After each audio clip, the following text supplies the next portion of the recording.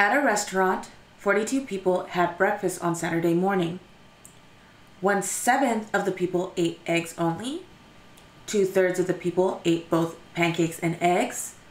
The remaining people ate pancakes only. Which fraction represents the number of people who ate pancakes only?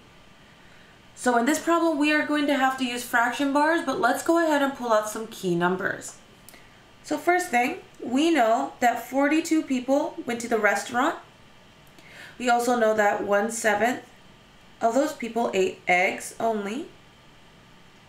Two thirds of those people ate pancakes and eggs, and the rest ate pancakes only we need to figure out how many people ate eggs and how many people ate pancakes and eggs before we can talk about how many people ate pancakes only.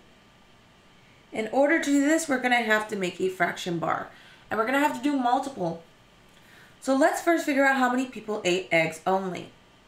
Okay, well, let's go ahead and put in a fraction bar. That is my fraction bar. And remember that the fraction bar represents everybody. Well, if this represents everybody, that means there are 42 people. I'm going to write P for people in this whole bar. Whenever you see a fraction, you need to think about it as the bottom as how many parts we cut and the top as how many parts we take. It says 1 seventh. We're going to cut it into seven pieces and take one. So let's cut it into seven pieces. One, two, three, four, five, six, seven. I know they're supposed to be even. Let's try to pretend that they're even. It's not very great, but let's see. There are seven equal pieces on this bar. We took the 42. We took the bar of 42 and divided it into seven pieces. Well, if we're dividing it into seven equal pieces, how much does each part of this have? How much is in each part? Well, let's go ahead and do this. 42 divided by 7. That means each part should have 6 people. So 6 people in each part.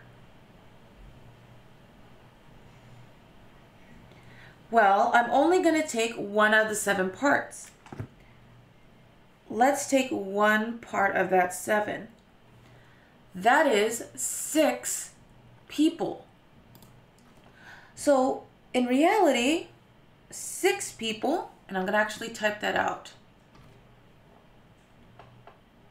Six people, eight eggs, only.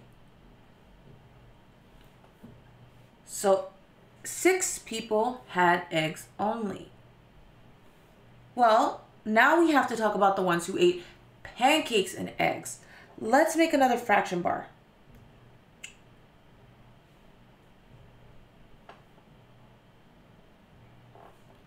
Let's go ahead and put another fraction bar.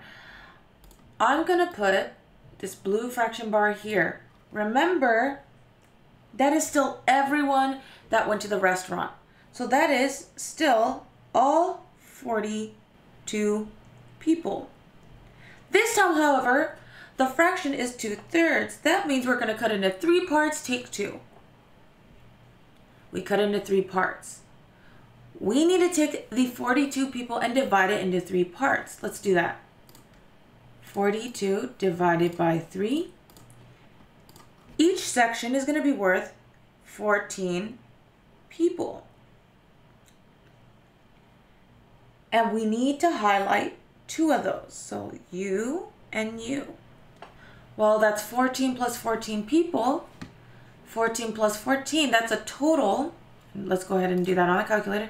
14 plus 14 people. That is 28 people. That is 28 people who ate pancakes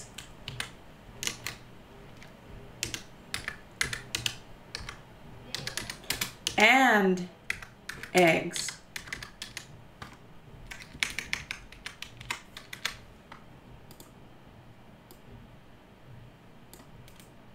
All right, so that's 28 people who ate pancakes and eggs. Now we need to know the remaining.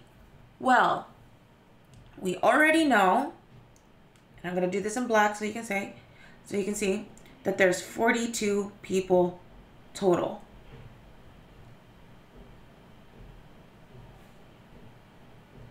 I'm just to write P for people because I can't write total apparently. Um, out of those 42 people, six had eggs and 28 had pancakes and eggs. Let's see how many people ate those together. If you do 28 plus 6, that's 34 people. We're going to write 34 people when we added those people. Well, we want to know the remaining out of the 42. So let's subtract the 34 from the 42. 42 minus the 34 gives us 8 people. That is 8 people who ate only pancakes. Now, a lot of people are going to go straight for G if they see that answer. But remember, that's 8 people out of 42. Not 8 people out of 21. This fraction needs to be reduced. Well, let's take half of 8. Half of 8 is 4. What's half of 42? 21. Right here is our answer. So F should be our answer.